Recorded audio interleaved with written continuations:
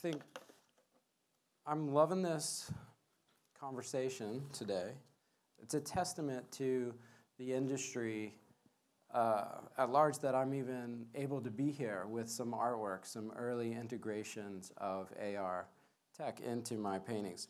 I'm going to walk you through um, a little bit of the how this technology is changing how I think about painting. So mixing up reality is what art is all about. We materialize imagination. That's what artists do. And now AR is changing how I do that in a big way in the studio. This is classical AR, AR without any tech, where the visual experience is prompted by the artwork, but dependent on the engagement of the imagination of the viewer. As a large scale but static artwork, this painting plays with perceptions of space and pattern and peripheral vision to create a sense of the dynamic. With AR, that dynamic quality can come to life. What enters the eyes as light enters the brain as data, and our vision is only part sensation. The other part is invention. So, perception is actually a creative act that we tend to take for granted. And an important part of what my work is about is exposing this fact and making it visceral. Pushing the boundaries on the known to expand our reach with creativity is core to what humans do. And there are big cultural changes happening today. And from the other side of these revolutions in computing from XR and, and AI, uh, you know, it looks like we're still in the cave days.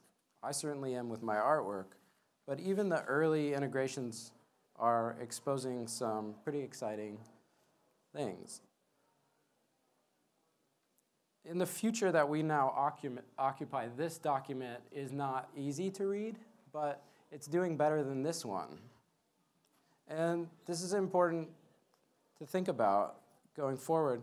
We've learned a lot about being digital in the last 50 years. And in the process, the value of materiality has begun to look different to us. We often desire experiences over objects, and objects themselves quickly become obsolete. This has got me thinking about how the links we build between the material and the digital with AR can design feedback loops and create a resonance between those two dimensions.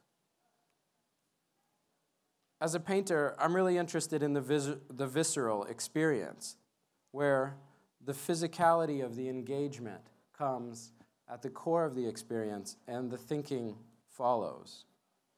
Making this painting was a journey for me. It was a, a literal dance, sometimes slippery. Uh, it was a study of energy collecting and a study of the habits of seeing and mark making. Thinking about this piece now, XR Tech could make this painting responsive to the viewer emergent from generative code and integrations of biofeedback. This is uh, one of the most interesting ideas that has come about this early integration. The real-time dynamics in a painting like this is created by the act of looking. So that's a fundamental shift. Rather than for the act of looking, can create it by the act of looking. A hundred years ago, in the artistic movement of the futurists, the cutting edge of art making was wrapped up in projects in, to embed drama of motion into painting. Today, through AR, painting as a cinematic space has become functionally real. And we're at a watershed moment in art because of it. AR in art means multisensory. And in the case of this piece, which I'll demo in a minute, I've layered Kristen Lien's music into the portrait of her. And that's cool, but for painting to gain a whole new spectrum of sensation is a pretty big deal, actually. AR in art also means painting is no longer just painting. it is also a screen.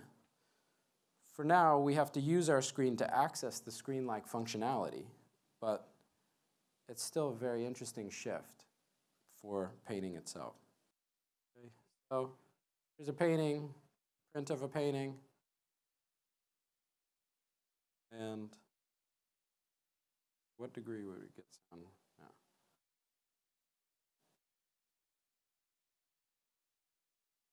Come see me at the table so you can listen to Kristen playing.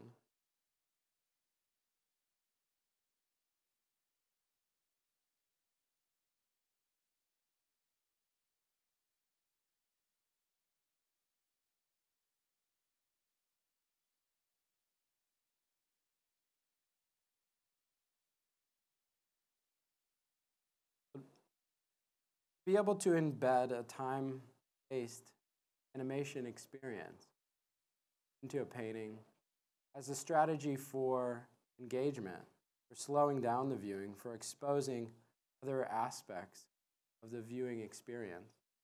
One of the things that I'm most excited about by pairing audio with a visual experience in this way is the difference between how we tend to look at the world and how we listen.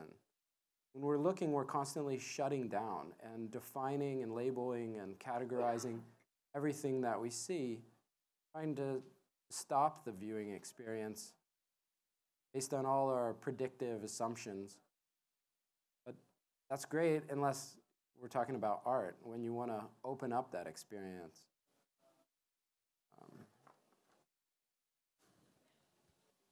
The track, there it goes.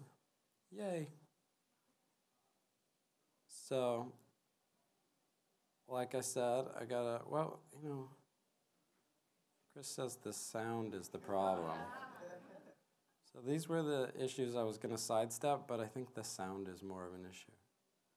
So here's painting getting meta on the idea of TV and painting painting as a screen.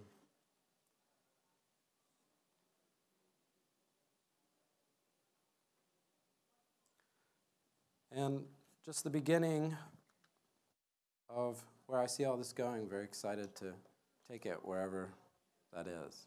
Thank you. Thank you, Nathan.